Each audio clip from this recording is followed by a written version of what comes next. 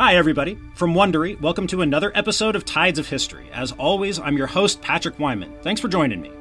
So, before we get into today's episode, a chat with history podcaster extraordinaire Mike Duncan, I have a disclaimer. We're going to be talking a lot, maybe even primarily, about present day politics in broad historical perspective.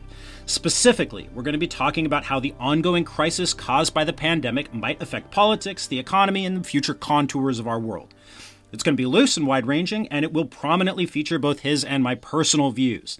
If you do not think that this pandemic is a big deal, if you do not want to hear our personal views, if you don't care about present day politics, if you think that this will somehow offend you, then by all means go ahead and turn it off now. There will be plenty of more Tides of History that's more to your liking in other episodes. Be safe and be well. If you do decide to stick around, wonderful. As I mentioned, I'm joined today by the host of the History of Rome and Revolutions podcasts. He's also the New York Times bestselling author of The Storm Before the Storm, The Beginning of the End of the Roman Republic, which I highly recommend to you all. He has a new book coming out before too long entitled, Last I Saw, Citizen Lafayette on the Marquis de Lafayette, an absolutely fascinating figure in both French and American history. Mike Duncan, thank you so much for chatting with me today. Uh, thank you for having me, Patrick. So, we were kind of talking on Twitter about the pandemic, the way its effects are rippling through our political system, both in the US and worldwide, and I figured we might have a chat about that. Like, basically, this is a crisis. It's a shock, and shocks place stress on existing systems. They expose breaks, they expose points of friction that already exist, they crack them open, and they help to drive change. So, from your perspective, sitting in a moment like this right now, how is history a worthwhile tool for helping us understand these things? Well, obviously, history is a useful tool for understanding this because these things have happened before. I mean, you wrote a really nice article about how people don't recognize or realize the change that they themselves are living through because we we often think of uh, great historical climactic moments being like recognizable. Oh it's the third act of the movie. I know what's coming next. I know that there's going to be a climax and then a denouement and, and everything will work according to some hollywood script when actually what it is is large scale changes that happen where each day you're still just getting up and going about what appears to be your regular daily routine, but all around you, massive change is unfolding. That then when you look back on it, you say, oh my God, that was a major transformative historical moment. And we didn't even necessarily realize we were living through it at the time. But in retrospect, it's obviously happening.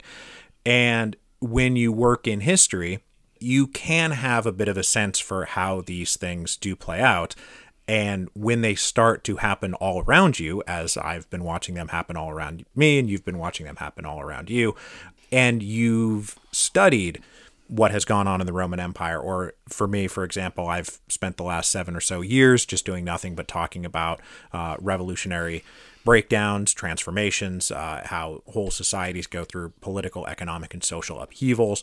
And having seen so many of these before, this is the, the idea that we could live through something that is going to be possibly as historically what feels unprecedented but is really not unprecedented. Having a quiver full of historical anecdotes and historical uh, events that we can point to and say well this is sort of how these things play out um, that's incredibly useful. And i hope that people will um, take a look at what has happened in the history books because we are going to need something like a blueprint here going forward.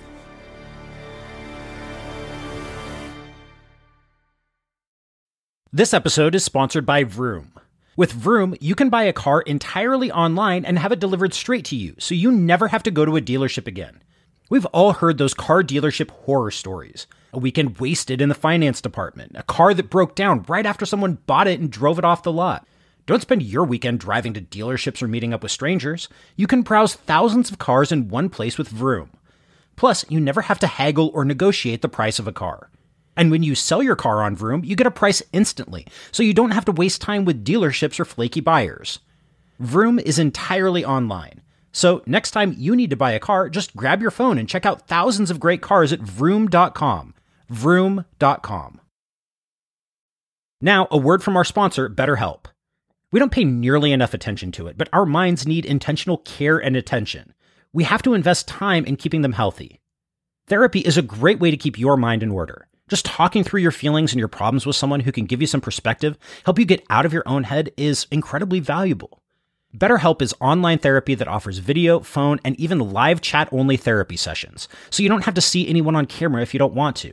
It's much more affordable than in person therapy, and you can be matched with a therapist in under 48 hours.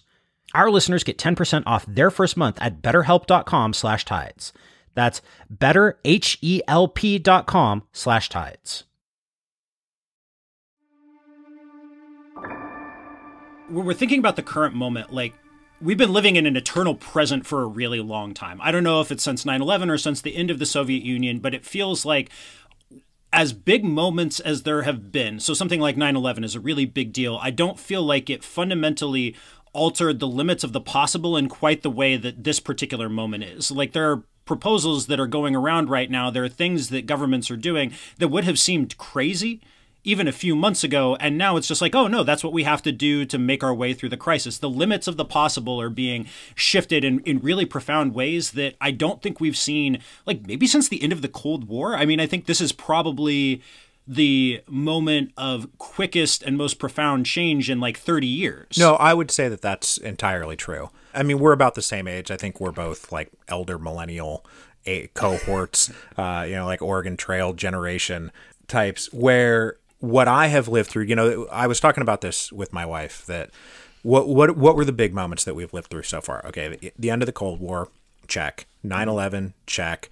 And the financial crisis of 2008, 2009 which people try have tried to bury and say that that actually wasn't as big of a deal as it was. But if you're if you're below a certain age, it's one of the most important things that's ever happened uh, in our lifetimes. And if you're above a certain age, you're just like, wow, that was crazy. That thing that happened a while ago that didn't wind up infecting me that much. But I can honestly say that this has been more impactful on what I would say is domestic American politics and then domestic like I live in Europe now, I live in France. So I have a little bit of a different perspective on this, but it's happening here too. Things that as you say weren't even thinkable 6 weeks ago are suddenly things that we have to do. And the difference here is that 9/11 was a hugely transformative event, but we pushed that transformation onto the Middle East. That's what the United States did. Mm-hmm. It's like we were affected by this thing. Some buildings came down, some people died, and then the United States of America projected massive. All of this that we're talking about has already happened 10 15 20 fold to syria to iraq to jordan to egypt to the entire arab spring followed by uh, everything that's happening over there. We projected that elsewhere. Um, this is the first time that we've watched something like this then actually consume the United States at home as opposed to being able to just fob it off on somebody else, which is what we usually do. We usually lash out at other people uh, and make them deal with the brunt of our own fears and insecurities. That's one of the things about being an imperial power, which the United States is in the 21st century by basically any definition, is domestic crises usually have worldwide effects. I mean, so in terms of what we're dealing with here in the in the, the midst of this pandemic, it's not just the pandemic, right? Like I think it, we got to establish that right off the bat. It's not just the wave of disease; it's the ways in which that is interacting with already ongoing trends. So we were already headed for something like an economic downturn, but when you add a huge exogenous shock to that, it's going to have enormous ripple effects. Like there are more people out of work right now. There are more jobless claims than any time since the Great Recession. Nothing you have never had in the entire history of the United States since they've started tracking unemployment this many people out of work this fast. So I mean, it's like we're living through some combination of the Spanish flu and the Great Depression, just with much lower death tolls, but potentially as great an economic disruption. And you're exactly right. The that the virus itself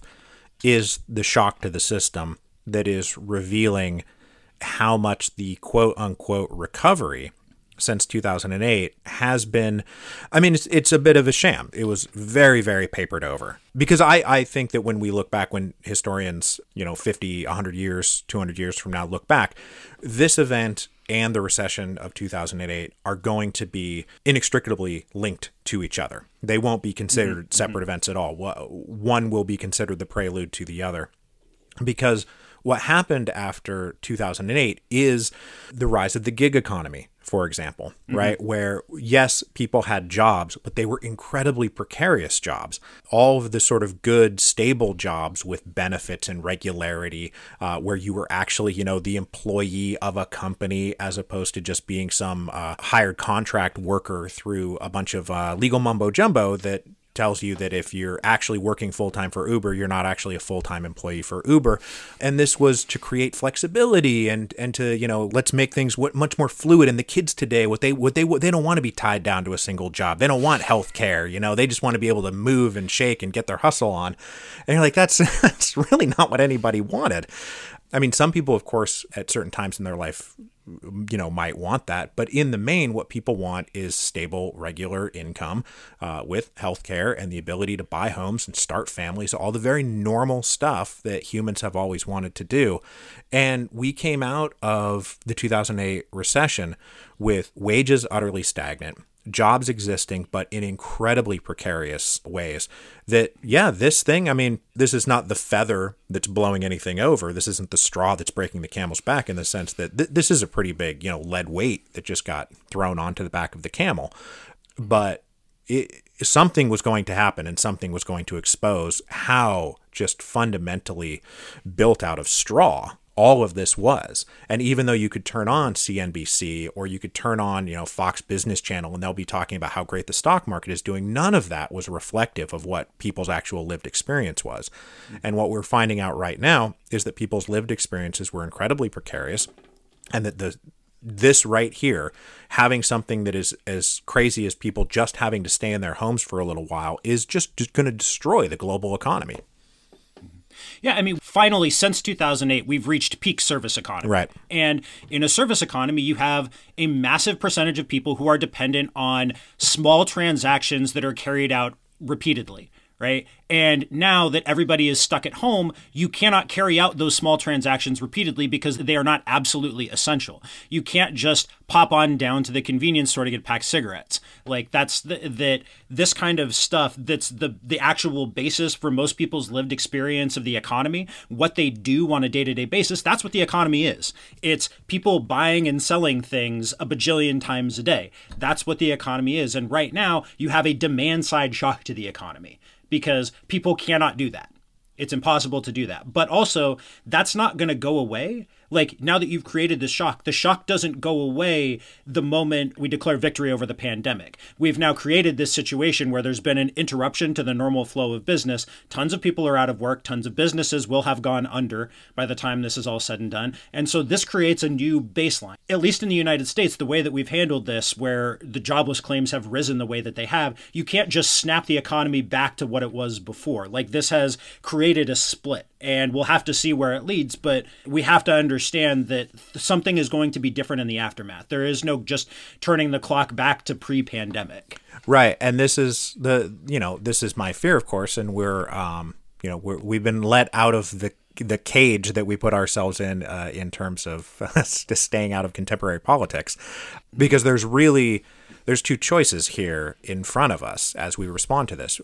Because, first of all, this isn't going anywhere anytime soon. You know, th- this could be years long that we're enduring this. Is who's going to get the political power and what are they going to do with political power in this moment of re-imprinting and sure somebody like me could say, well, this is really obvious. You know, 30 million people just, you know, lost their jobs, and the United States runs this crazy system where your health care is tied to your job. Well, this is really easy. We will now have, you know, Medicare for all or some kind of national health care system that just completely removes this weird historical quirk of the United States, which is healthcare being tied to your job. And we'll just take care of this, and this will be the moment we do that. Um, we also have, you know, if we're going to live in this society where everybody is doing these uh, these gig jobs, these Uber jobs, or everybody's a contract worker, if we're going to live this way, okay, maybe there's some kind of universal basic income we need to be talking about, so that everybody can at least mm-hmm. afford some place to live, get food. You know, it's just like a real, a basic sort of socialization of the risks of society, so that nobody, everybody has a nice cushion in case these things sort of like happen. That is, of course, all I think very nice and good, and it's what I would want. But there's also, you know, looming uh, the threat of authoritarian nationalism coming back. Mm-hmm. And all of this can go in a completely different direction where they go, okay, well, you know, we've got these creepy foreign viruses coming in from creepy foreigners. So I guess that means we're just going to close all the borders for all time. There won't be any kind of help for the lower classes. It will just be like, okay, well, they're utterly precarious and who really cares about that? Let's just reconsolidate our own power at the very, very top. These elites that this is what they did after 2008. You know, here in Europe, the push towards austerity in the wake of this massive financial crisis, which is telling everybody we need to tighten our belts, there was a massive demand side problem in 2008. And instead of, you know, doing some uh, counter cyclical spending to pump money back into the economy to get everybody up and running again, they did austerity, they cut social services, and now we're dealing with the secondary impact of that, which is a second major crisis now operating inside of post a decade of austerity. Um, you know, the Britain's National Health Services has been, you know, really taken down to its uh, to its rickety core as a result of 2008 and now they're dealing with this. And what happens coming out of that? Do we fix it or do you know basically do the the proto fascists get a hold of everything and just lock onto it with both of their iron hands yeah, because this is something that I want to get into more as we go through the course of this. But one possible outcome here is you like you like those social services, you like that safety net, but you just define very narrowly who gets them. Exactly. So, like one term for that Herrenvolk democracy, if you want to put it in ethno-national terms, where you have a pretty generous welfare-ish state, but it's only for a specific group of people who meet the criteria. So if you want to put it in institutional terms, you or uh, or economic terms, you have general rules and identity rules, and that is a system in which state benefits are applied based on identity rules. It'd be like Jim Crow, but with uh, Medicare. Right, and they're already. I mean, the they've been coming for soil citizenship. Uh, basically, if you're born in the United States, you're automatically a citizen. They've been coming after that for 20, 25 years, and I could very easily see them saying, Oh yeah, in in those terms, yeah. If you're just if you if somebody makes it to the United States and they have a baby, that kid shouldn't now be able to access our generous benefits that you're talking about. Mm-hmm. And as we move forward, are there going to be future pandemics? Yes, but the main thing looming on the horizon here, well, not looming on the horizon, it's already happening, is climate change. And climate change is going to cause enormous disruptions to where populations are able to live. It is going to cause new migrations uh, around the globe as climate shift and people have to move with it. I think you're going to have major pressure put on these systems. And if they do go the way of sort of closed minded Herrenvolk democracy style uh, nationalism, then you're going to have mass groups who are cut out from all of that, who are really, really just, they're exposed to everything. They're going to be exposed to wildfires, they're going to be exposed to uh, pandemic viruses, and they're not going to have any access to anything. So, how we respond to this is going to be very, very critical. And there are different ways that we can go. I'm, to be honest, I mean, it's tough to look at what is happening right now and be thoroughly optimistic about how we're going to handle this going forward, especially given uh, the leadership for example, of the United States of America. You know, we just watched in Wisconsin them uh, uh, they forced through uh, the primary election in where Milwaukee went from having 180 polling sites uh, and they took it down to five polling sites. There's a real threat right now in the United States that elections will simply cease to be considered legitimate, and that's really mm-hmm. scary. Yeah, so this is I, I want to save that particular bit for the end. So where where are we going with this? What are the possible plausible scenarios that we see coming out of this because that's something we have to think about is like is democracy going to continue to be a viable political system for the United States? Is the United States itself going to continue to exist? This is all stuff I want to get into. Before we get there, real quick, is there a moment that this reminds you of? Like you because you spent the last seven years talking about revolutions. You spent the last the six seven years before that looking at the history of rome. Like is there a particular moment that this reminds you of? Yeah. I was answering some questions on twitter the other day and somebody asked me that basically that same question. And i just sort of popped off and said this reminds me of 1848 the revolutions of 1848 and then i didn't elaborate it. I didn't elaborate on it at all. So i will elaborate on this now I can't really uh, try to explain right now succinctly everything that happened in 1848 in 30 seconds. But if you don't know, there was a massive upswing of revolutionary, basically for liberal democracy throughout France and Germany and Austria and Italy and uh, the Habsburg areas, where you know my uh, nationalities inside of these various sort of lingering uh, European empires were fighting for autonomy and independence, and then uh, various domestic groups were often fighting for democracy, and then these proto-proletarian labor classes who were coming out of what was at that point the early what we now consider the early industrial revolution who were fighting for things like bread and wages and the right to work.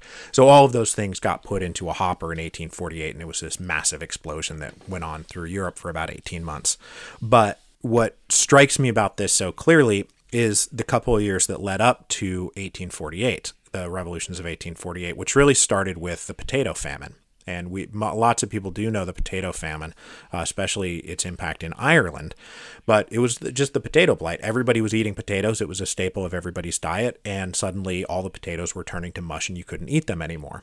And the effect that this had beyond just the massive famine. So, so the, we're going to call the potato famine like the coronavirus, where millions of people died as a result of these famines, and there was mass disruption uh, all across northern Europe.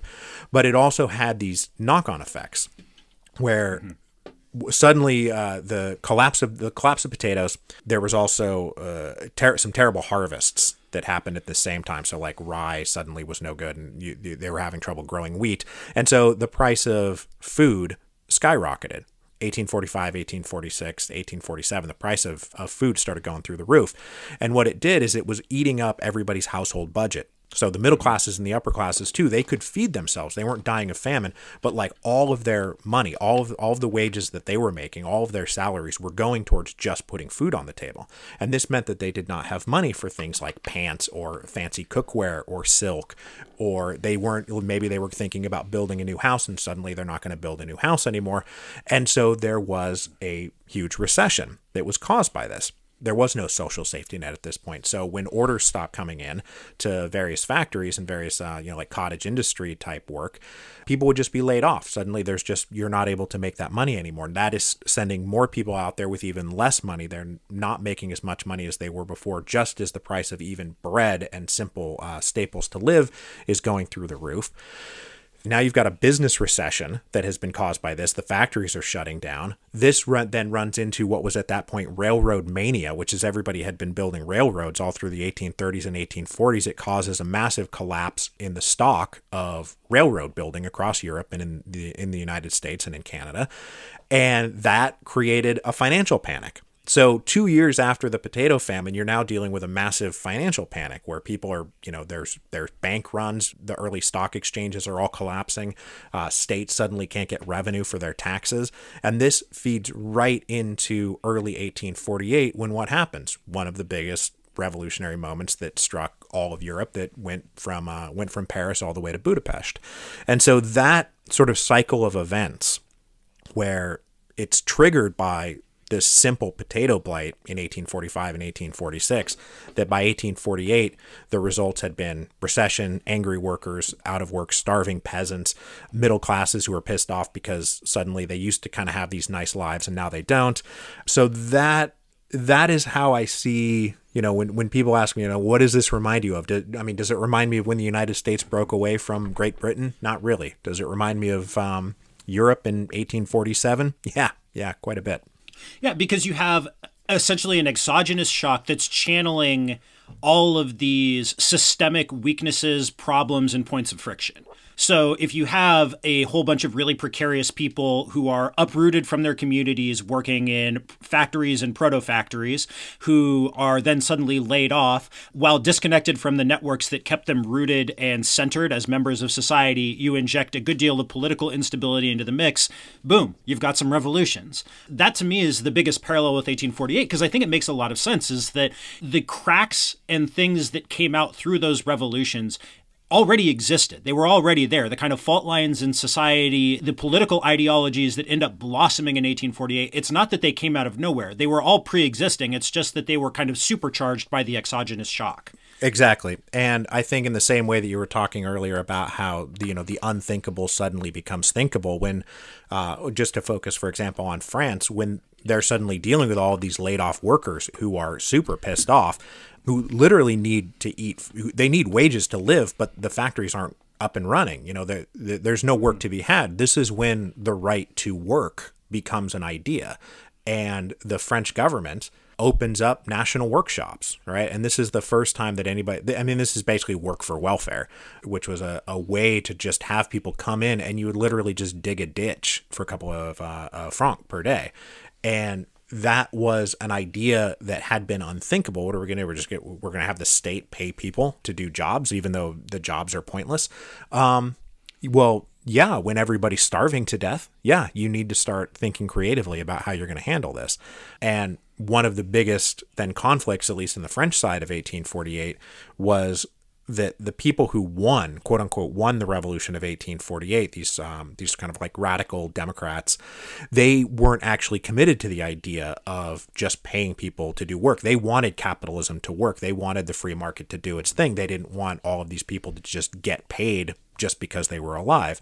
So for them, the national workshops were this very, very short term thing um, that they did not want to keep going. And then as soon as they could, they basically they set them up to fail. And then as soon as they could shut them down, they did, and that created a second revolution in June. The first revolution was in February 1848, and then there was a second one in June that involved a lot of um, bloody repression of the working classes who were just thrown back out into the streets. You know, thanks a lot. Good luck out there. And they rose up in an attempt to fight for the right to essentially feed themselves and were kind of mercilessly crushed by the Second Republic. One of the things that has come out in in seeing you talk about this and thinking about your perspective on this is you know revolutions over the long run is how fast things can sometimes happen. So you just mentioned there February to what was the when was the second one? In June. Yeah, so February to June. That's not that long. That's four months. In the French Revolution, how long is it from the tennis court oath to a constitutional monarchy? Oh, uh, well, that one took a little bit longer. Uh, but they, they, but no, I take your point. That the, you know, they got together in the original French Revolution. They got together in mm-hmm. May of 1789 to basically mm-hmm. address a financial crisis. You know, the the monarchy mm-hmm. doesn't have enough money, so let's figure out a way to get them some money. And yeah, six weeks later, they're like, "Mark, you, we're con- we have a constitution now," um, which nobody mm-hmm. nobody saw coming. And you know, the the revolutions of 1848 too, nobody saw it coming even in February. It was a it was a very quick, rapid fire thing that was triggered by some people wanting um, a, an increase in democratic suffrage, where the mm-hmm. July monarchy had uh, which was the regime that was overthrown in 1848, they had voting. There was an assembly of delegates. There was something resembling representative government, but the electorate was was very very small and, and based on very very high uh, minimum property requirements.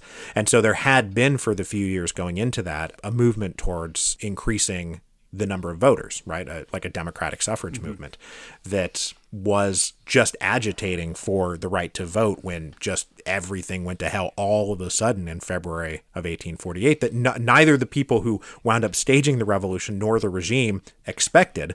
But that one was so fast that, like, on a Monday, nobody expected anything to happen. And by Thursday, they're declaring a republic there is an extent to which that reminds me of the current situation where Andrew Yang talking about a universal basic income a few months ago was like, okay, you know, like you've got your supporters, but that seems fairly out there. And now universal basic income is a thing that's popping up all over the place as a solution to the ongoing crisis. Right. I mean, the things that Bernie Sanders has been saying for years is suddenly you know he was he was supposed to be this just wild outside all bounds of of acceptable political thinking what is normal and now all of a sudden, yeah, you, you act, might actually have to just do these things in order to solve the crisis that is right in front of your face. And that's that's the thing is we're dealing with something that nobody has had to face before. And so many of the things that people really struggle with is when for years and years people say, oh, well, someday this is going to happen, so we need to do this, or someday this is going to happen, so we need to do that. You're always thinking to yourself, yeah, okay, but it's never actually going to happen. And then now we're living through it. Now, the thing that many people have been warning about for years and years and years, up to and including a mass pandemic. You know, we all read The Stand when we were kids. Um, I, I don't know. Did you read The Stand when you were a kid? I never read uh, the stand. Yeah. No. Okay. Well, so in the stand, and you know, I was I was a I liked Stephen King when I was a teenager. Um, And he used to talk about this, you know, back in the 80s and 90s. Like his biggest fear is, you know, one of these global pandemics. So it's always kind of in the back of your mind that something like this is just going to rip through the population and maybe we should, you know, prepare for it and plan for it. But there's also that part of your brain that thinks, oh, well, that won't actually ever happen. So we don't have to do any of the things that would might make us uncomfortable today or don't seem necessary today because it might be inconvenient, which I think, again, is the same thing that we're facing with climate change there's a lot of mm-hmm. things we could be doing right now that would make the impact of climate change quite a bit less severe as it's coming down the pipe. But, you know, this whole business of like, oh, in 20 years or 30 years, climate change is going to be a problem. No, that was true 20 or 30 years ago. Like, it's a problem it's a problem right now, and we need to be facing it right now, and people still aren't facing it right now. Right now, in the United States, the the whole world's on in lockdown, and there are states out there that are just like, nah, we're not going to do that. That's crazy. You guys are crazy. So if you can't get people to even go into lockdown when the entire world is is facing exactly the same thing in a major moment, then uh, you know, God, God help us all. yeah, that thought has occurred to me more than once over the past few days. The way in which this is a dress rehearsal for climate change, and some places are doing a lot better than others in the midst of that dress rehearsal. That thought has occurred to me. Imagine having one extra day every week, more time to cook healthy meals, work on that novel, or just binge some good TV. I'd probably spend more time reading books or playing with my kids. Now, that's all possible with ClickUp, the productivity platform that'll save you one day a week on work, guaranteed. ClickUp began with the premise that productivity was broken. There were too many tools to keep track of, too many things in entirely separate ecosystems. ClickUp is the one tool to house all your tasks, projects, docs, Google spreadsheets, and more. It's built for teams from one to a thousand or more. It's packed with features and customization options that no other productivity tool has, so you can work the way that you work best. Join the more than 800,000 highly productive teams using ClickUp today. Use code TIDESPOD to get 15% off ClickUp's massive unlimited plan for a year, meaning you can start reclaiming your time for under $5 a month. Sign up today at clickup.com and use code TIDESPOD. Hurry, this offer ends soon. Hey everyone, it's MSNBC's Trymaine Lee. Have you listened to my podcast, Into America? Each week, I explore what it means to be black in America, like the toll racism can take on mental health, the fight against fascism, and how history shapes our lives today. I hope you'll search for Into America wherever you're listening right now and hit that follow button. New episodes drop every Thursday. Catch you then.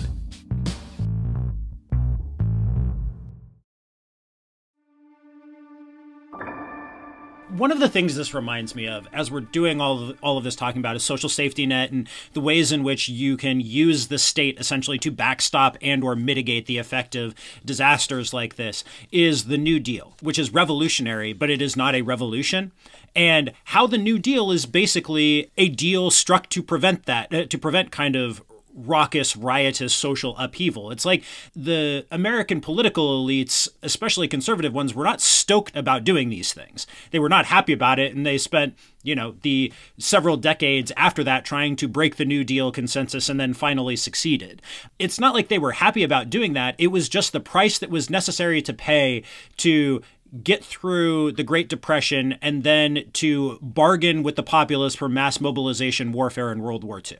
Right. And that moment, like that New Deal moment when, you know, they're facing and they'd been they had been in the Great Depression for years before FDR even mm-hmm. came to power. I mean, we often think of like the Great Depression happened, Hoover was president for a year, and then FDR came to power. It really wasn't that at all. America had been enduring it for quite some time, and as you said, especially in Europe, the Weimar Republic, etc., you're dealing with you know you got Nazis and fascists on one side, and you've got Bolsheviks and communists on the other. And I do think that it's true that in the United States, enough of the political elite rallied to the idea that if we do do something, you know, I mean, FDR didn't overturn capitalism. FDR saved capitalism. Um, that's that's mm-hmm. what the New Deal was attempting to do, was to stave off the fascists on the one hand or the Bolsheviks on the other. And I think it was largely successful. Although, as you said, there was that core who despised everything, who think that the New Deal is a betrayal of the American ideal and the American identity. And they haven't stopped trying to undo the New Deal in 1968 or 1972 when they started actually breaking the New Deal, the political faction that was the New Deal consensus, the, the Democrats uh, basically controlling the federal government there for a good 30 years. Uh, they're still trying to do it now even in the midst of everything we're looking at right now, they're always trying to slash social programs and cut taxes. And we're now dealing, I think, that that to the extent that there is a backlash that is happening, which there is, because that's something we haven't talked about, is that, you know, you say a lot of things were already floating around out there before this event kicks them off out there.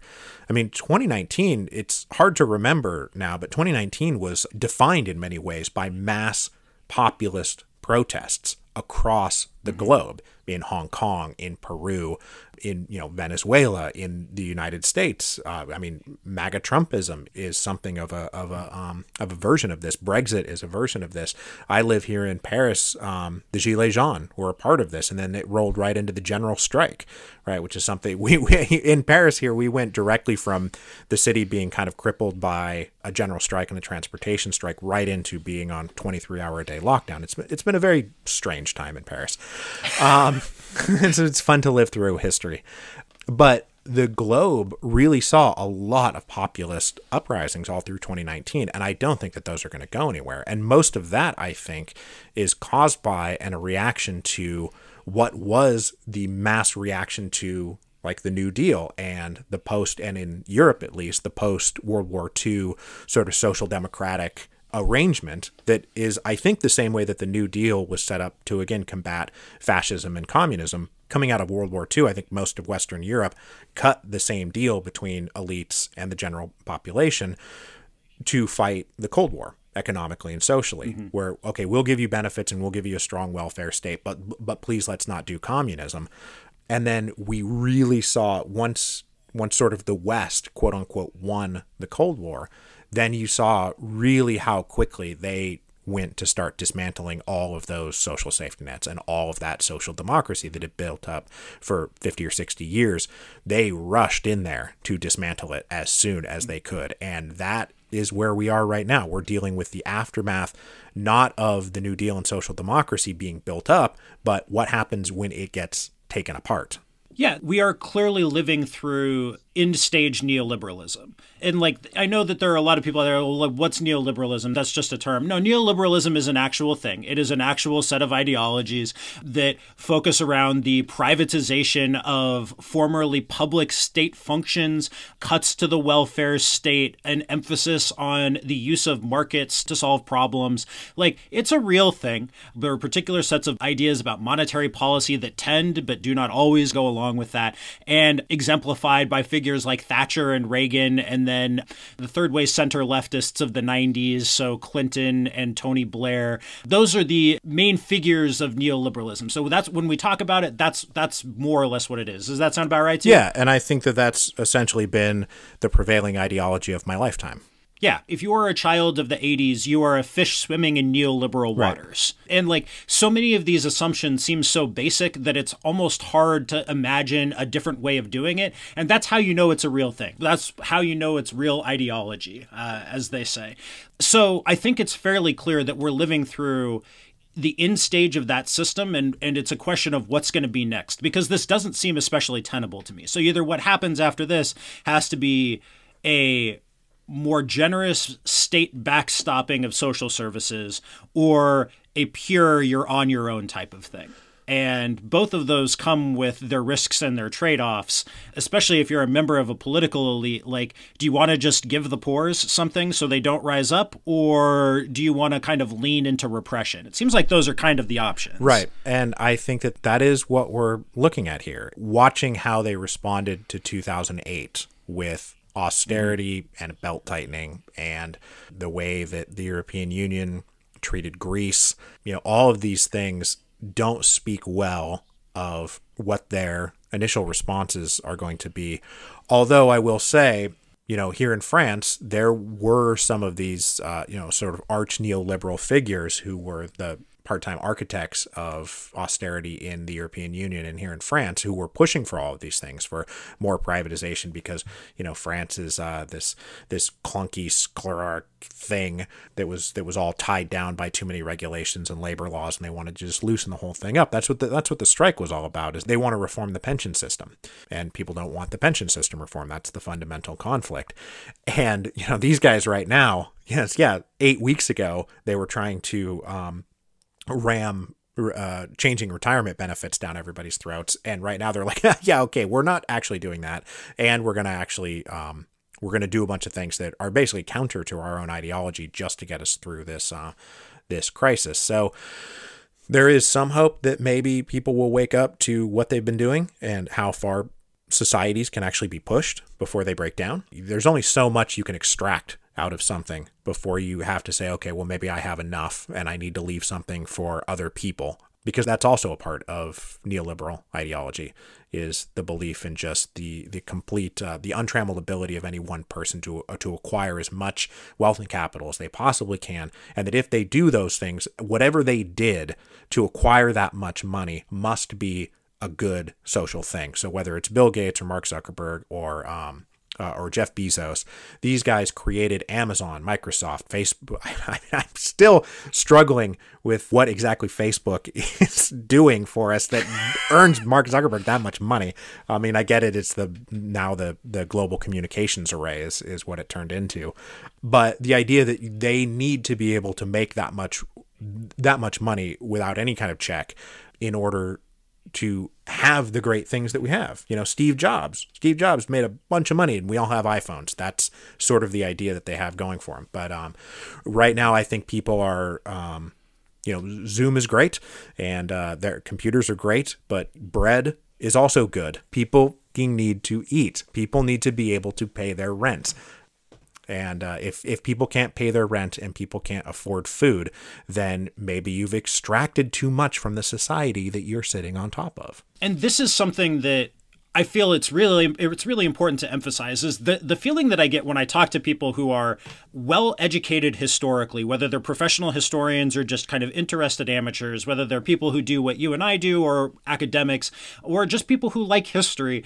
I think the sense that I get from talking to them after having polled a whole bunch is that we're much closer to the edge of a breakdown in this particular moment than I think our political elites, especially in the United States, are are realizing. That there's there are some very real dangers of social breakdown and political breakdown, like systemic systemic breakdowns that can come about as a result of this. Like there are distinct imaginable paths that take us from where we're sitting right here today to the collapse of our political system or the collapse of some really important social functions over the coming months and years. Oh. Like that is no longer out of the realm of possibility. Yeah, sure. It could, yeah, we it could be ball game time by November. You know, mm-hmm. and my struggle as I continue to encounter the world that everybody else encounters is that I have spent the last 13 years talking a lot about how civilizations crumble and fall apart and what happens mm-hmm. when that when things start to fall apart. You know, the first book I wrote was about the collapse of the Roman Republic. You know, what are the things that led up to the collapse of this institution that existed for 500 years that nobody nobody thought was going to go anywhere. Nobody they they were all totally um, convinced that the republic was an eternal was an eternal state then fell apart within a couple of generations. And then doing revolutions each season is me uh, taking some society that was existing in some form that people generally had the notion well this is what it is you know ancien regime france or czarist russia. This is how we do things. This is how we've always done things. Things aren't going to change even though none of that was true right? Like people had the ancien regime france such as it was really only got going with like louis the 14th it's not like it was some 2,000 year old timeless institution. It was like 100 years old when it was overthrown. But the point being that everywhere I look, I see signs. I see things that I could put into an episode of the Revolutions podcast about our current present moment. Like this is really easy. Oh, here's Trump. He's fighting with the governors. Um, this is this is an episode of a podcast about a revolution or some kind of social collapse in the United States, where the feuding between the governors and the president the, and that institutional battle, which is a real thing that's happening right now, and, it, and it's actually vital what's what's occurring because we're talking about who's getting necessary funding and supplies to combat this killer virus. This virus is actually killing human beings. Um, how are we going to combat this? And it seems like you know the governors are saying that the president is absolutely abdicating his responsibility and the president is saying well you should have taken care of it yourselves. And there's so much bickering that i mean when when does that start to fray apart? Uh, when when does california take its tax revenue and go home if they're not going to get the support of the federal government that they want. My so I'm primed to see all of this and I accept that. And so when I when I go around either here today or on Twitter and I seem somewhat alarmist like all the time, uh, and I'm constantly saying like you know we we need to do vote by mail or you're literally talking about the end of American democracy. I sometimes can't tell if I'm just so primed for this that I see it everywhere or if I've seen it so much that I'm seeing it here now and it's true. Also, I've been in my apartment 23 hours a day um, for the last couple of weeks, so I am not entirely sure where my head is at any given moment. So I identify very strongly with all of that because I've spent my entire adult life studying uh, breakdown. Yeah in some way, shape, or form. So yeah, I too think that I'm primed to see it. Like I was explaining to my three and a half year old son what I was working on the other day. He came up to me as I was typing on my computer, and I told him I was writing about the Holy Roman Emperor Charles V. And he's like, "Well, was he a good guy or a bad guy?" Um, I'm like, "I don't think he was a real good guy." So my son is like, "Oh, he's okay. So he's a bad guy." And he's like, "Is it a sad story or a happy story?" And I'm like, "Well, I don't think it's a happy story." So my son then walks away, goes to my wife, and he says, "Daddy's job is writing sad stories about bad people." and I was like, that's not like, that's, that's, not, not entirely that's, that's wrong. Not wrong. He's not wrong at all. Yeah. So trust me, I, I feel you as far as the being primed to see this stuff goes. But I also think like the flip side to that is that you're if you have spent your life thinking that you live in a stable political system, it may be extremely difficult for you to see the signs of instability as they've come up. To properly place disruptive events in the correct context, whether that's temporal or thematic, like to see these events as related to one another over the course of time, like that you have to draw connections. If you're trying to understand the modern political history of the United States, for example, you have to draw straight lines from the impeachment of Clinton to Bush v. Gore to Bush Kerry to the Tea Party to 2016 to the present day. You have to understand that all of those things are part of the same story, but if you just view them as discrete events that you weren't paying that much attention to as they happen, or of which your memory has been shaped by subsequent events in some in some specific way, you have to understand that that's the story and that those are things that add up to systemic challenges to a particular way of doing politics. And so if you happen to be, you know, the political elite of an opposition party in the year of our Lord 2020, and the political headspace that you're occupying belongs to the era before all of that happened, then maybe you're not especially well equipped to combat the present crisis. Yes, yes, one might tend to agree with that analysis personally. but here but here but uh, here we are and we're going to ride or die. But you know, it, it is really true, and there there is this is one of the problems of um of having an aged leadership where there is this crazy thing and you're talking about things that are connected to each other like if if you were going to sit down and write like what what is happening right now.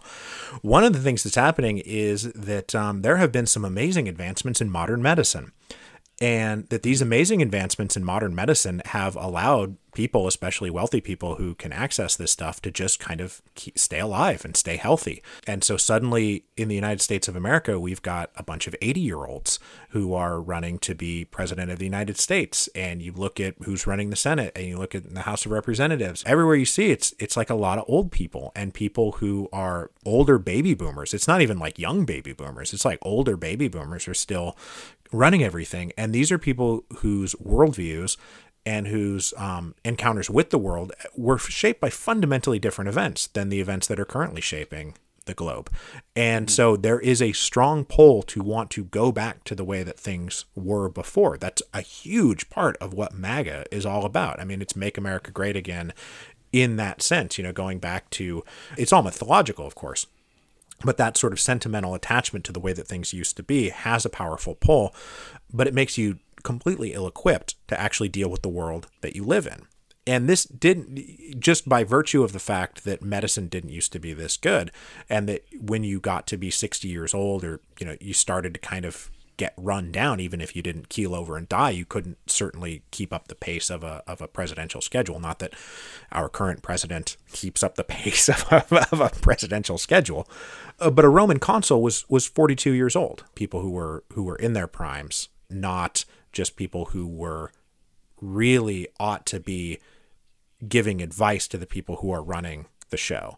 And so I think that there is a huge generational split right now where something that we're facing is an aged leadership who's just simply not seeing what it is that they need to do in these current times. Yeah, and like to be clear, this is not an argument against having aged people in your political elite.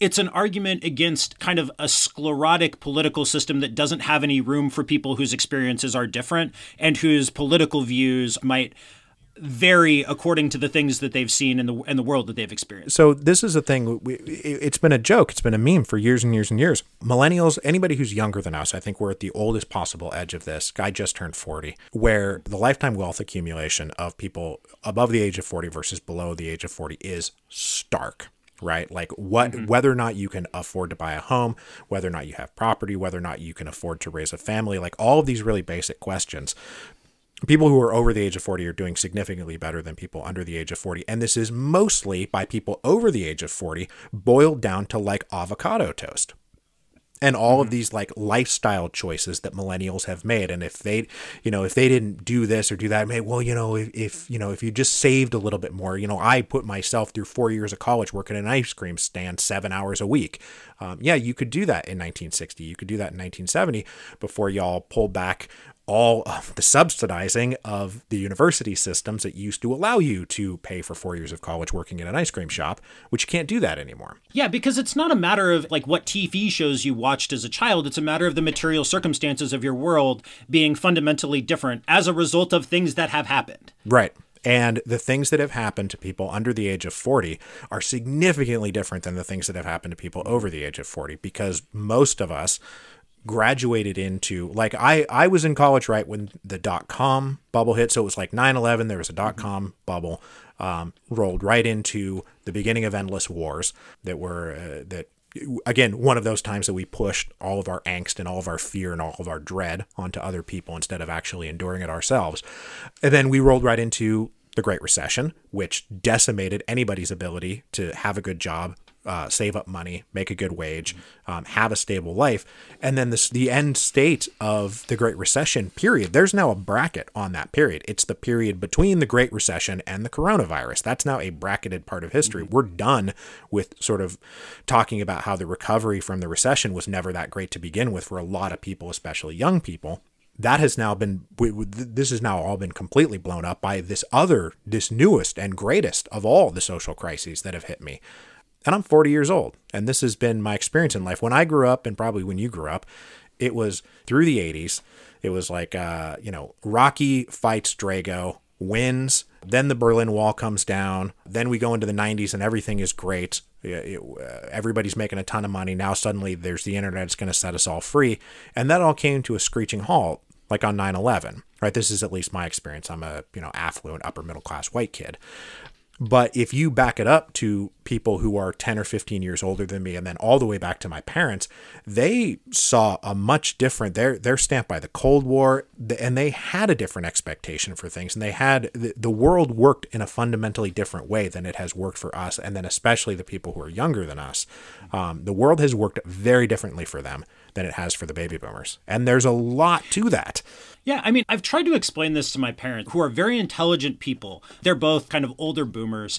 And I've tried to get across to them that, like, there are going to be people who are voting in this next election who were born after 9 11. And I think it's hard for them to wrap their heads around that.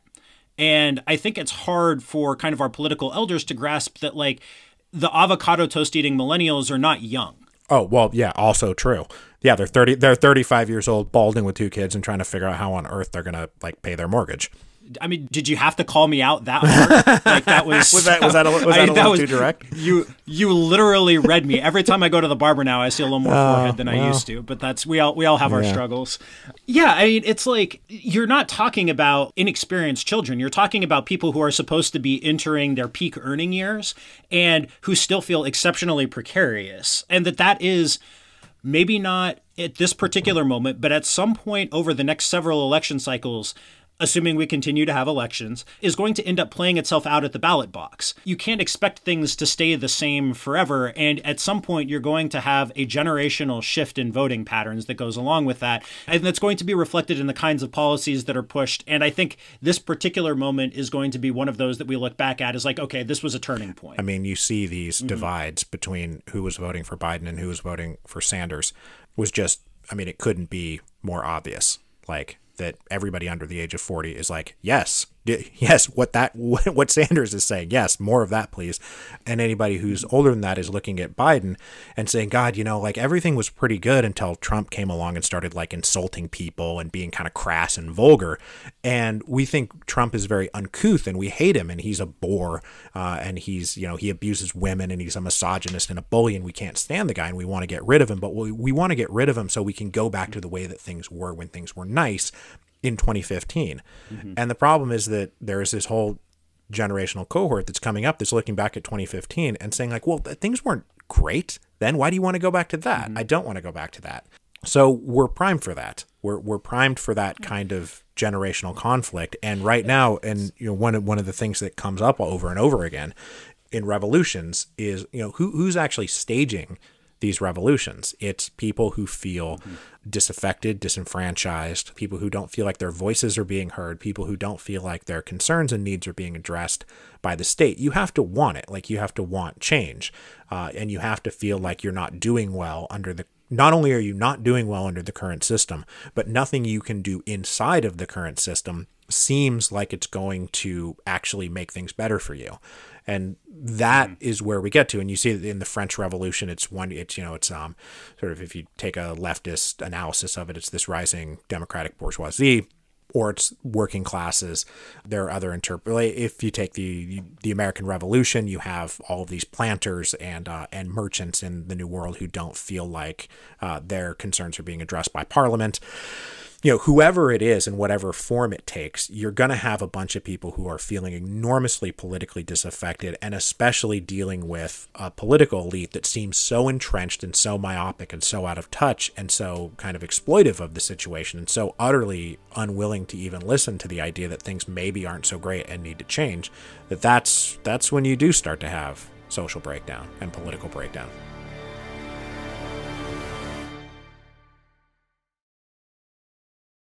When you're scrolling through social media, how can you tell what's real?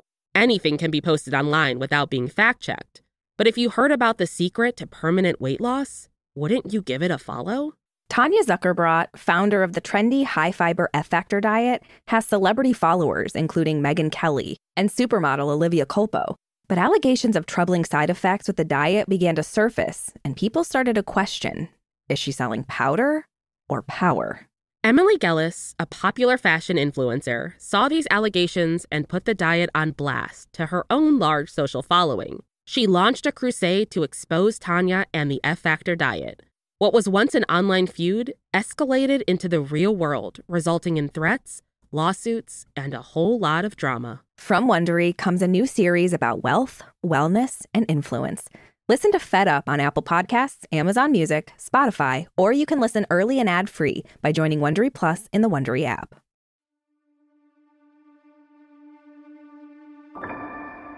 And in the particular context of the United States, this is something you mentioned a little while ago that I wanted to come back to. When you add in a hefty bit of institutional and jurisdictional friction, that helps to create the circumstances that make all of that much more likely than it would otherwise be. So I, I, I, DM'd this to you on Twitter, but there was a clip of Gavin Newsom talking in, in which he refers to California as a nation state. Yeah. And that's the kind of thing, like, not to be flippant about it, like, that's, I'm sure that was a pretty intentional choice of words on his part. The governor of California doesn't get up and call his state a nation state without having done some thinking about it. You know what I mean? I do. And I mean, it's one of these things where now currently, I mean, even if you ask me right now, like What sort of prompted us to, to even start talking about this is that I think I was looking at feuds between Cuomo and Trump over mm-hmm. how we're going to get ventilators and how we're going to get masks and um, what is the federal government actually doing here? And trump fighting back and saying well this is all this is all on you and you did a very bad job. And it all feels very personal with trump because everything is very personal with trump because um, he just projects his you know narcissistic insecurities onto the world.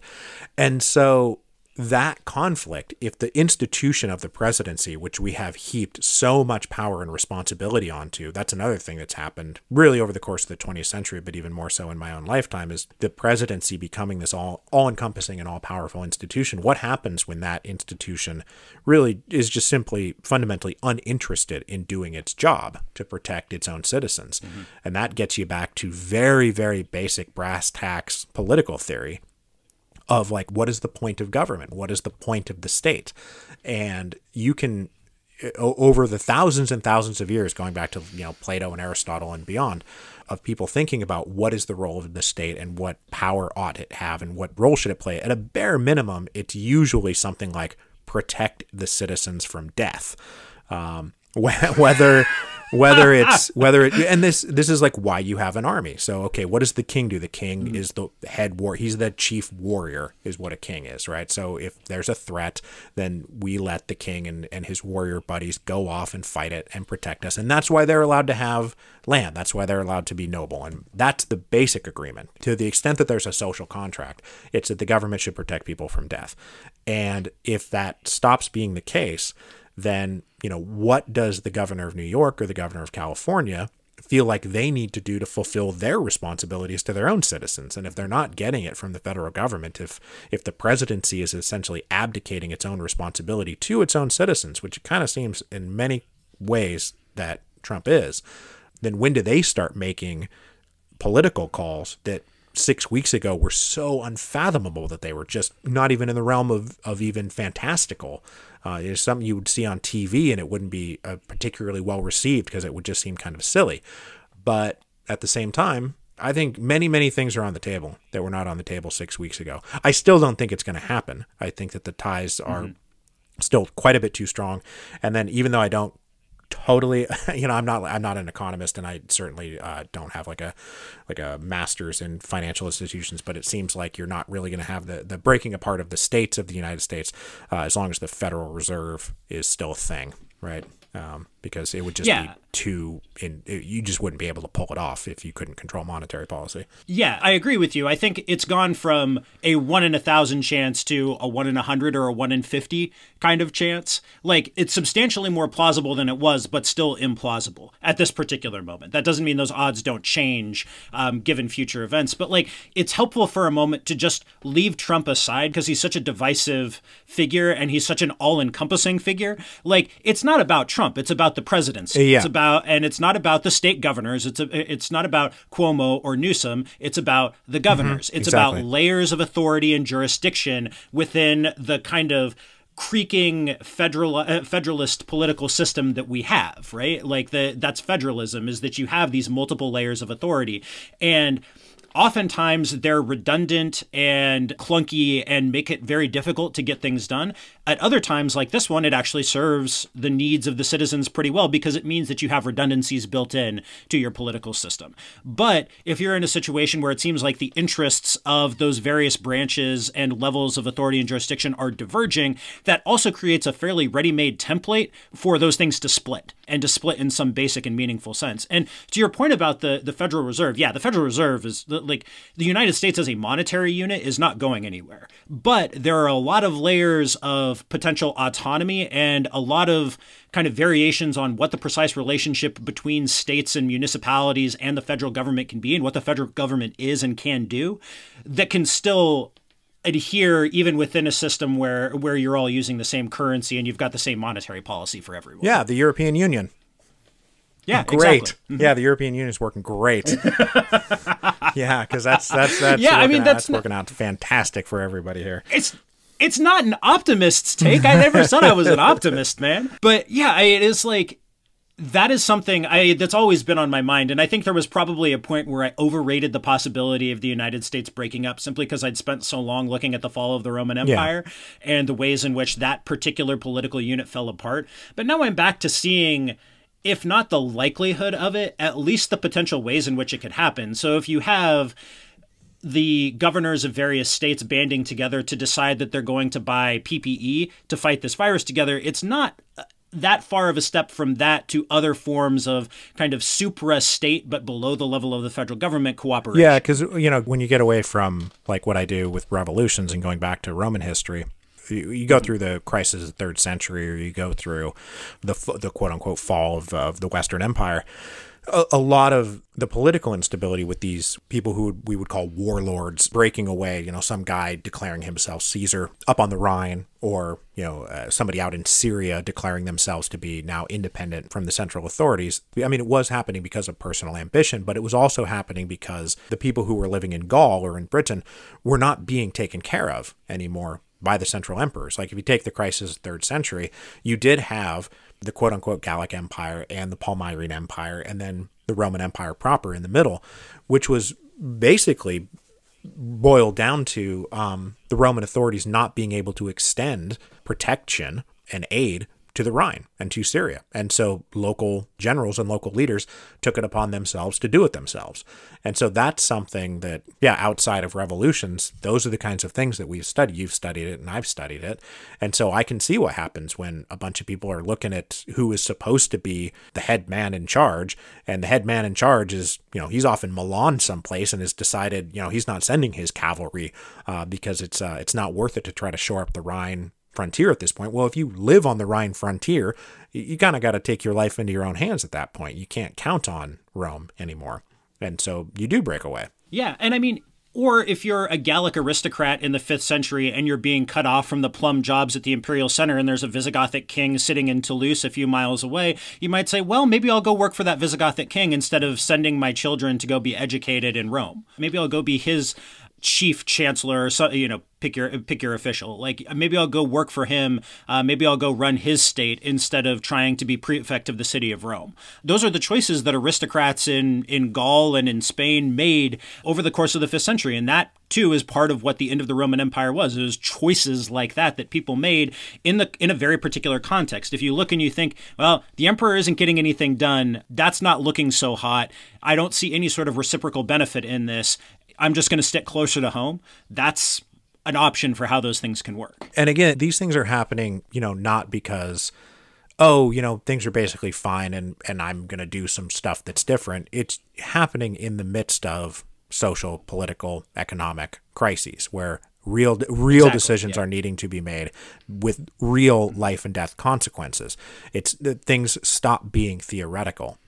And I think that that's something bringing it all the way back to the impact, the social and economic impact that this virus has had just in the last two months has been so enormous and it has impacted and traumatized so many hundreds of millions of people that we can't even begin to fathom or reckon with the psychic cost that is that this is taking mm-hmm. on everybody in addition to the economic and social cost. So are people's mentalities going to be different? Yeah, I think so. And do we know then what that means? No, of course we don't. But I think that it is just so, so frightening that it is happening to happen in the middle of election year. That's also contingency, right? Like in every historical situation that we're talking about, whenever we're looking back at it, we can talk. I mean, I, I love talking about structural factors. I love talking about the deep causality of events, but you can also never get away from the fact that sometimes just like stuff happens when it yep. happens and that that plays a role that matters. Like the timing of things matters. Somebody catching uh, somebody catching malaria at the wrong time matters. That's just how this stuff works. And so we have i mean I we probably aren't going to know for a few decades whether this was a really good thing or a really bad thing that this happened to happen in an election year but it certainly does matter. Yeah it does. And i mean the thing is is specifically the way that we run our political system right? Which is which is yeah. our legitimacy and uh, the, the legitimacy of the United States, the legitimacy of every single state in the United States, and then this is true here in France, this is true in England, is it's elections. We, we this is one of our ideologies is that one person, one vote democracy is the great legitimizer of whatever the governmental and state institutions are. So the tax regime and all of this, all of the social programs and the military and all the decision makers and all the leaders derive their legitimacy no longer from God on high. Uh, there's nobody's divinely appointed anymore. Uh, it comes from below, and it comes specifically from the ballot box. It's the great civic ritual of the West: is going to the ballot box and dropping a piece of paper into a box to indicate who you would like to be the leader of the country. And when we're living with a very particular phenomenon that is preventing us from getting together in groups where the entire the whole point in order that to save people's lives and to not have people die is for us not to get together like that. And for us not to congregate in one place on one day and everybody go and drop off their um their ballots. And if for example there there's a really plausible scenario where this thing that we're living through right at this particular moment is the first wave of the virus. And let's say by July things have eased up. A lot of people have gotten it. Some people are now immune to it. We can start to lighten up on these on on the lockdown and people start going back to work and things start getting back to normal. And then in October, suddenly there's a second wave of it. Maybe the virus is mutated a little bit. And let's say we have done nothing about voting by mail, making sure that people can cast their ballots through the mail from the privacy and safety of their own homes, as opposed to needing to go to some gymnasium or library or city hall to cast their ballots. When the election comes around, then, how legitimate is that election going to be? If you have polling places closing down, people unable to go vote, people saying, "I want to get an absentee ballot, but we waited too long, so so now we can't get it," or the state never bothered to get off its ass and actually do something about voting by mail, and so on election day, it's just a massive shit show and then what happens if it's Bush v. Gore again? It's not like Trump is going to lose by anything more than two points, right? Like, to the extent that we're going to have an election, it's going to be close. Like, that's guaranteed. So, it's going to be a close election, and it is going to be very likely a complete I'm not guaranteeing this, but it could very easily be a situation where in Wisconsin and in Florida and in Michigan and in Pennsylvania and in New Mexico, all of these critical battleground states, that the election itself is going to be rendered so illegitimate that we will not know who won and we will not know who to believe and we will not know who's in charge and the government of the United States will be quite simply paralyzed and we won't know what to do about it. Mm-hmm. This is my fear. This is what keeps me up at night. Yeah, I mean, and that's big, and it's not just that event either. It's that we have, in various ways, been experiencing a long run legitimacy crisis. And I think that that's one way to view the concern about Russian interference in the election is is this election legitimate? Is this outcome legitimate? That's one way of looking at part of the way that Obama was viewed by uh, by the opposition is is this a legitimate figure who's allowed to do politics and who's allowed to uh, fulfill the duties of the president? I think that that's like we're dealing with not just this event in isolation. It's not that like suddenly now we're having to question the legitimacy of political outcomes. It's that this is coming on top of a long period in which people on both sides of the partisan divide in different ways and for different reasons have been primed to question the legitimacy of the system. It's like the icing on a cake of you know questioning legitimacy. Yeah, that's exactly right. Is that both sides will be primed for it. People forget this too because because Trump actually winning the 2016 election was so unexpected for everybody. But he spent most of. October priming the pump for a great claim to this election was stolen from us. Like that's that was going to be his yep. big post loss PR stunt when he when he moved from the PR stunt that was his campaign to his next PR stunt was going to be oh the election was stolen from us. Uh, it was rigged. The whole thing was rigged. He spent all of October talking about how it was all rigged, and we're going to go into October again, and he's very likely going to be saying the same things. And I mean I can't even wrap my head around the number of different ways that people are going to be arguing about this not actually being a legitimate election. Democrats won't accept yeah. it. Republicans won't accept it. Whatever the outcome turns out to be, probably the Electoral mm-hmm. College will throw its hat into the ring just to make things a complete clusterfuck. Whoever wins is going to um, lose the popular vote, but win the Electoral College, and you know then it's just going to be, you know, I'll be applying for citizenship in France. I'll just I'll just I'll just ask him to go ahead and rush my rush my application.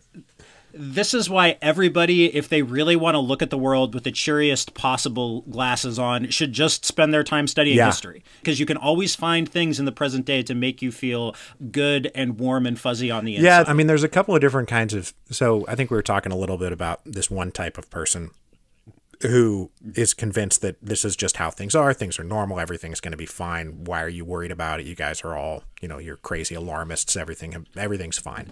Um, this won't change that much. You guys are hysterical.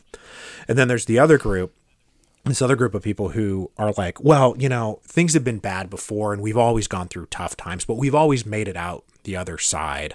And so so why are you freaking out? Yeah, sure there was a Great Depression. Yeah, we made it through. Yeah, there was a there was a civil war. We made it through that. And it's like, yeah, but do you have any do you know how bad it was to like live to like live through that? Are you kidding me? Like, oh yeah, well shit was crazy and everybody died for like you know, the bubonic plague was bad, sure, but you know, you came out the other side of that and you know, median wages for the average worker had gone up like 67%. but you, but you Thanos snapped half the population out of yeah, exactly. And you're like, That's you're like- bad. Like, that's and they bad. and they look to me sometimes as a historian to like back them up, where they're saying like, so let's talk to this historian. You know, he he knows that things have been bad and we've been okay. And I'm like, are you kidding me? like that stuff was all horrible. I don't I don't want to live through any of that. Yeah, see, this is the thing I think about all the time when it comes to climate change is like I don't think actual human extinction is an especially likely outcome, but I do think a drastic reduction in population is probably within the realm of possibility and maybe even the actual likely outcome that like the earth will just be able to support a lot fewer people living in a lot less of a technologically complex way. Like that's perfectly plausible. Like I don't think we're all going to die, but there may be a lot fewer of us living a lot less pleasantly. and then there will be people who are around after all of that happens. Um, you know, like I and I actually I think it will actually be not necessarily even that bad. I don't think there needs to be a drastic reduction in the number of people, but I think it will. I think it will remake the global political economy. Of course, it will. Like that's Oh, yeah. that's Yeah, Like I think I think most of the states that we currently take for granted in the same way that they took the Holy Roman Empire for granted are going to be fundamentally different entities. Like, let's just be really conservative and say 200 years from now, what does the political map of the world look like? I think it looks very different than it does right now. But you're going to get people who are alive then who are like, yeah, but yeah, I mean, we lived through it. It was fine. It's like, yeah, but like, you know how like there was there was the seventh Civil War, and then there was the eight. You know, there. You, do you remember? You remember Corona 108? You know, you guys. You know, Corona 108. That was a really bad one. Um, or COVID 108. D- World War World Yeah, War Five was really was bad. terrible, right? And then we're like, yeah, but, but back me up. You're, you're, you study history, you know, you know, we always get through these things, and the, the people who live make it through in one piece, man. Yeah, that is quite literally survivor's Yeah, bias. it is the literal definition of survivor's bias. Is On that especially cheery note, Mike, thank you so much for chatting with me. uh, thank you for having me to chat. I, I feel really just so uplifted right now. Great, going Yeah, forward. I, I mean, l- look, like part of the job of being a historian, frankly, is that I don't think you're supposed to make people feel Yeah. better. Like that's not the that's not the job. The job is not to tell stories that make people feel better. The job is trying to convey some sense of what what's happened and why and why that should be meaningful to us and it's not like your job is to be Cassandra like just shouting about upcoming disasters but like your job is to try to represent these things faithfully Yeah, and I I mean I I have this little like aphorism that I like which is that you study the past so that you can make decisions in the present that will make for a better future. That's sort of the triptych that I always see going on. Like, yes, I'm shouting about how this could all be very, very bad because I don't want it to be very, very bad. Um, Yeah, so exactly. so let's let's let because I don't want it. People are like, "Oh, you lo- you must be loving this." Like, I'm not loving this. I don't want any of this to be happening. So I do want to study the past. I do want to tell you how bad things have been before. I do want to tell you that things could be bad again. In fact, they will be bad again. Things are going to be bad again. But if you pay attention and if you realize that things could be bad again, then yeah, we do have agency. I don't believe that history is some, you know, crazy spiritual force that just molds us and does to us what it will. You know, I'm not, you know, I like Tolstoy, but I don't believe everything Tolstoy says. That I don't think that we're just molded by forces beyond our ken. We do have agency. We can control events. We can respond to things. And I think that historical literacy and embracing embracing that instead of trying to stay aloof from it uh, is is a very good strategy. I 100% agree. Mike, thank you again. Let's do this again sometime soon. Oh, sure. Well, anytime I'm starting to feel better, we should get back together. Yeah, I've been told I have that effect on people. So, Mike, what do you have coming out? When when can we expect to see Citizen Lafayette? And do you want to come chat with me about that when it comes out? Oh, I'll come chat with you about Citizen Lafayette for sure. So I'm finishing it right now. I just ended what became part one of the Russian revolutions. We just wrapped up the revolution of 1905. And I'll spend the next six months or so writing Citizen Lafayette and then I'll come back, and in October, the manuscript will be done. I'll go back to work on part two of the Russian Revolution, uh, which will be about 1917 and the Russian Civil War that, that followed. And then Citizen Lafayette will be coming out in the spring of 2021. So I think it's about one calendar year from now, there should be a physical book that is actually going to be out on the shelves, and it's called Citizen Lafayette. And uh, you will all be able to enjoy the fun adventures of the Marquis de Lafayette as he goes through 50 years of crazy economic, social, cultural, political turmoil, death, and destruction that he himself managed to live through mostly a lot of it through dumb luck, but also five years in an Austrian prison.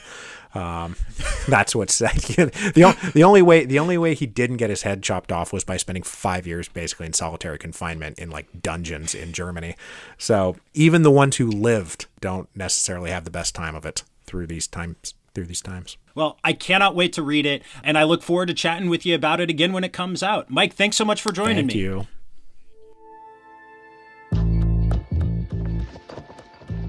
Thanks so much for joining me today. Be sure and drop me a line if you'd like to chat about the fall of the Roman Empire or the rise of the modern world. You can find me on Twitter at Patrick underscore Wyman or on Facebook at Patrick Wyman MMA. You can follow the show at Tides History. If you haven't already, don't forget to subscribe to Tides of History on Apple Podcasts, Spotify, Google Podcasts, Stitcher, or wherever you're listening to this right now. If you've been enjoying the show, I'd really appreciate it if you left a five star rating and a review. Tides of History is written and narrated by me, Patrick Wyman. The sound engineer is Sergio Enriquez.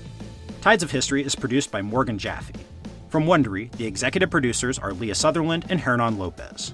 Thanks again for listening. Until next time, from Wondery, this has been Tides of History.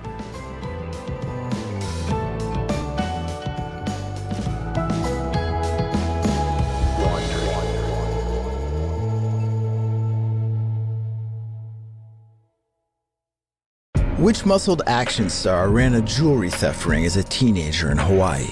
How did a critically acclaimed actor get chewed out by the public and the police for a scandalous cannibalism kink?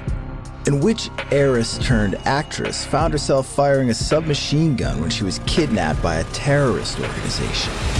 These are just a few of the questions I'll answer on an all new season of Badlands a true crime podcast hosted by me, Jake Brennan, that dives into the real stories of the famous at their most infamous. With new episodes every Wednesday, I dive deeper into the notorious characters of Tinseltown than ever before, featuring the insane true stories of John Belushi, Armie Hammer, Charlie Chaplin, Lucille Ball, Bob Crane of Hogan's Heroes, Patty Hearst, and Dwayne The Rock Johnson. For all this and more, listen to Badlands wherever you get your podcasts. Or binge the entire new season right now only on Amazon Music.